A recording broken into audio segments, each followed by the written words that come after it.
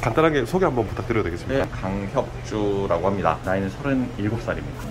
이태원 클라스라는 드라마. 제 인생 스토리를 보고 베낀 게 아닐까. 제가 20대 때 원양어선을 좀 타고 현재 강남역에 스낵밥집을 운영을 하고 있고요. 운영을 하다가 만난 아내와 결혼을 했고요. 장가라는 대기업과의 전쟁을 했는데 반대편 가게를 보시면은 저랑 대결 구도가 지금 만들어져 있는 상태라서 대기업이거든요. 저는 이제 서울 경기권으로 해서 15개 정도 가맹점이 있어요. 아직은 저 앞에 있는 순대국밥집보다는 한참 미치지 못하죠. 하지만 네. 드라마에서 어땠습니까? 이길 수 있을 거라고 확신을 하고 있기 때문에 제 드라마를 완성을 좀 해보려고 합니다. 바닥부터 여기까지 왔기 때문에 불가능한 일은 아니더라고요. 여기까지 올 수 있었던 방법들을 노하우로 풀어보고자 제가 할 수 있는 거를 보면은 여러분들도 할수 있을 거라고 저는 생각을 합니다. 일찍 출근하시네요. 오픈 쪽이라서 밥하고 점심 장사 준비를 좀 해야 됩니다. 사장님이 여기 먼저 식당을 차리셨는데 앞쪽에 지금 대기업이 들어오게 된 건가요? 맞습니다. 1호점만 하고 있었을 텐데 그때는 이제 오토화 시켜놓고 솔직히 조금 쉽게 돈을 벌고 있었는데 만 원짜리 순대국 앞에 5,500원이라고 간판을 커다랗게 걸고 순대국밥집이 떡하니 들어온 거예요. 앞집에 이제 대기업이 들어왔다고 해가지고 아 나 망했네 큰일 났네가 아니라 네. 기회다 생각의 전환이라고 해야 될까요? 그때 바로 2호점을 차려 나갔고 기왕 이렇게 되는 거 물류를 하고 본사를 차려야 되지 않을까 대기업이 들어왔다고 해가지고 아 나 망했네 큰일 났네 어떻게 하지가 아니라 내가 성장할 수 있는 기회가 됐구나 위기를 기회로 만들 수 있는 방법을 찾아서 계속해서 발전이거든요 그렇기 때문에 저 장가와 같은 순대국밥집에 감사합니다 위치가 지금 강남이잖아요. 예. 월세는 얼마인가요?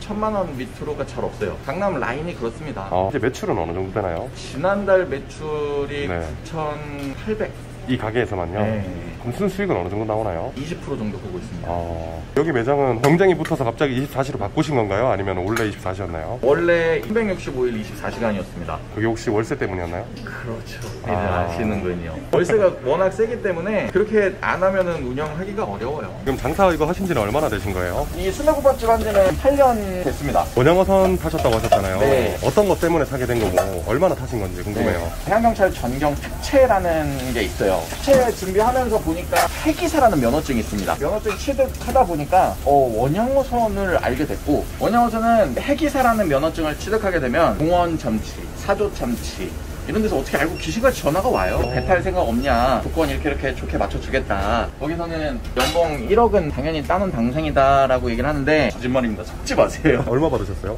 저는 1년 정도 타가지고 7천만 원 정도 어, 벌어갖고 왔어요. 총 그럼 1년 타신 거예요, 원양어선? 27살 12월 31일 날 출항을 해서 네. 29살을 육지에서 맞이했죠. 계속해서 배 탈 게 아니고 앞으로는 사업을 할 거기 때문에 과감하게 접고 1년만 딱 타시고. 예, 1년 타고 내려서 여태까지 사업을 해오고 있습니다. 대형 클래스 실사판이라고 하셨는데 네.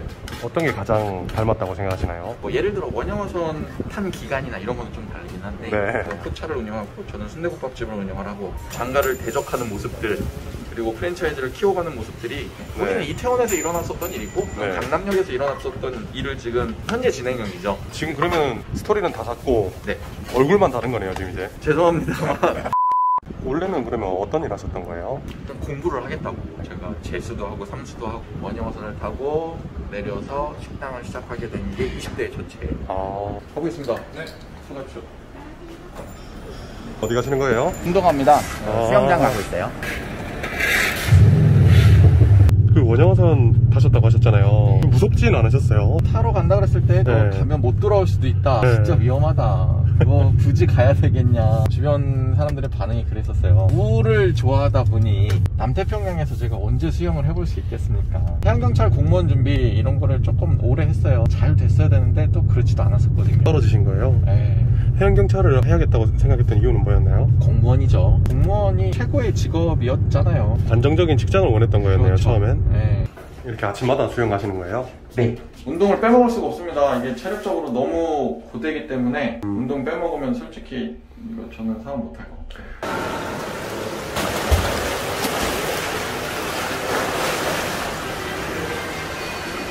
원래 수영을 하셨던 거예요? 취미로 시작을 했고요. 또 강사 자격을 취득하게 되다 보니 제주도에 해녀학교라는 곳이 있습니다. 그 해녀들을 가르치는 일을 하고 있어요. 지금 해녀분들을 사장님 가르치시는 거예요? 네. 사장님, 그럼 사장님도 해녀가 될 수 있는 거네요? 저는 해남이죠.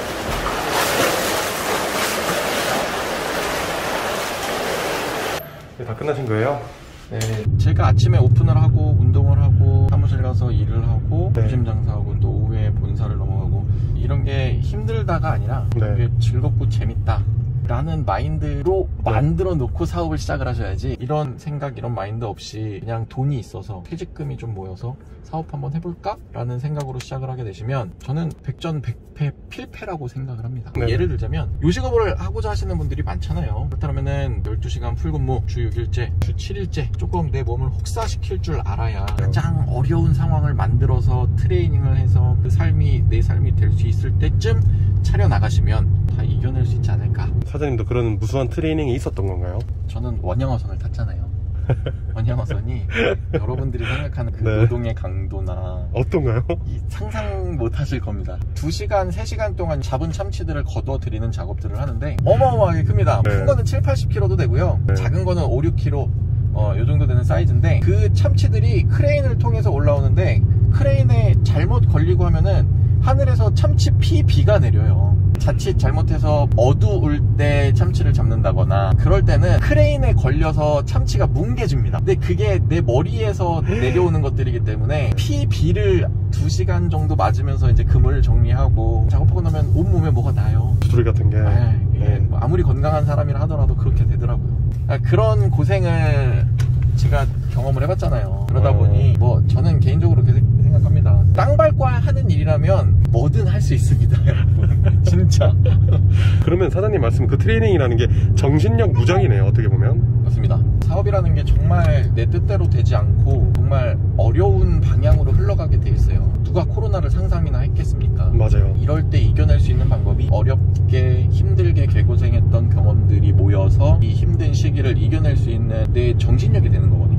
1호점을 운영한 지 5년 차때 네. 대기업이 있으면 정말 쫄립니다. 사장님은 국밥 만 원에 파시는데 앞에서 갑자기 5,500원을 가격 측정을 해버리면 어떤 마음이었나요? 개망했다.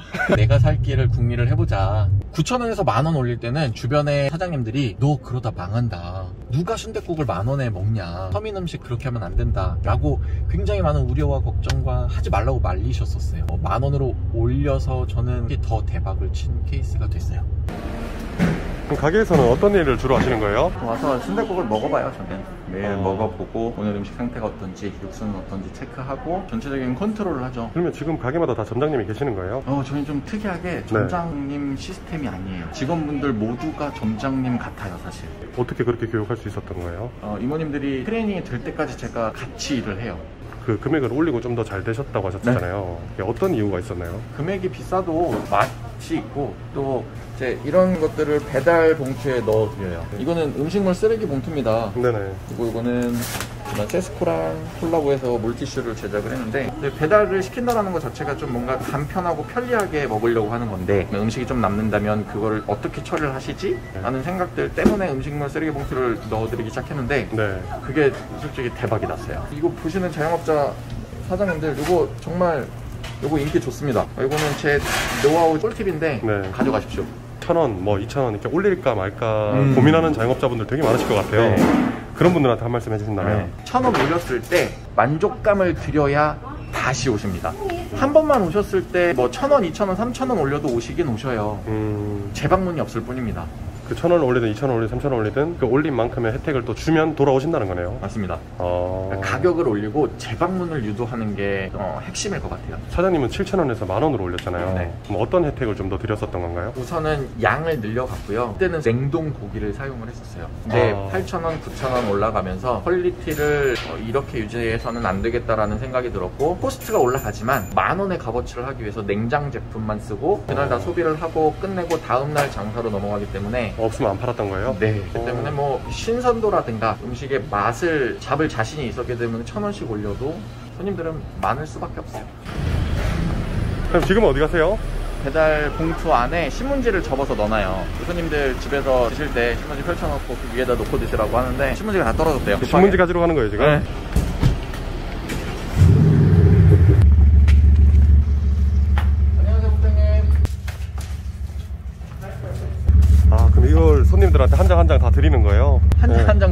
네. 그리고 안에다 넣어드리는 거여서 이게 손이 많이 가요. 양이 이렇게 많아요? 저희 뭐 배달 한 달이면은 뭐 3, 4천 건 하니까.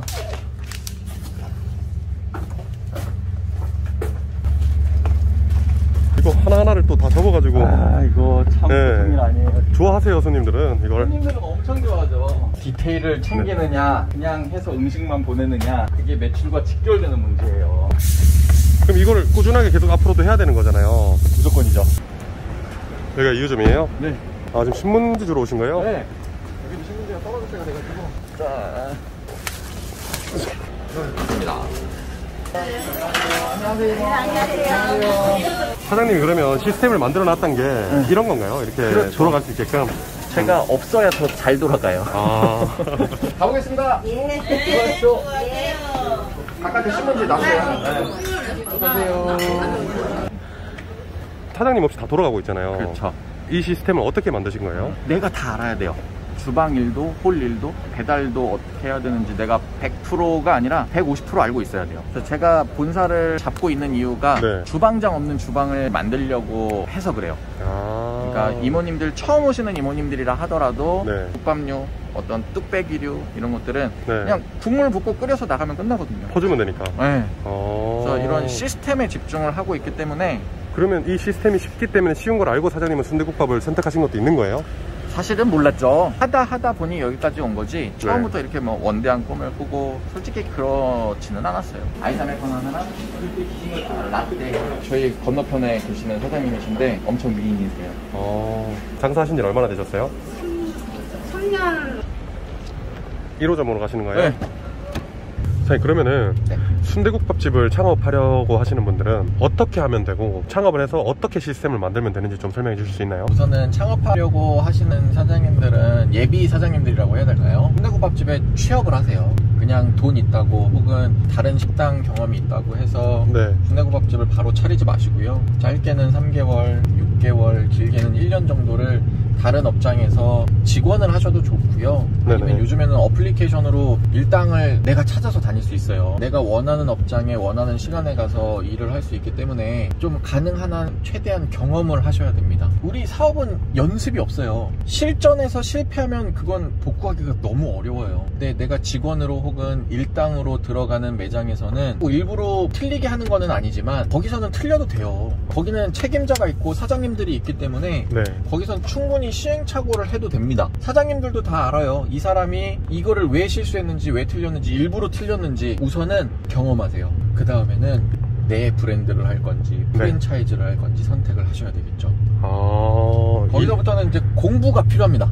일당을 다니고 뭐 직원으로 다니고 하면서 절대로 시간과 돈을 1대1로만 교환하지 마세요. 또 집에 와서 공부도 하셔야 되시고요. 네. 배운 것들 정리정돈 하셔야 됩니다. 음... 그냥 뭐 오늘 매장에서 어떤 일을 12시간 해서 10만원 받고 땡 그렇게 일을 하실 거라면 그런 경험은 필요 없고요. 네. 매일매일 어떤 거를 배웠고 내가 매장을 차린다면 이런 부분은 꼭 도입을 해야 되겠다는 거를 네. 쓰셔야만 합니다.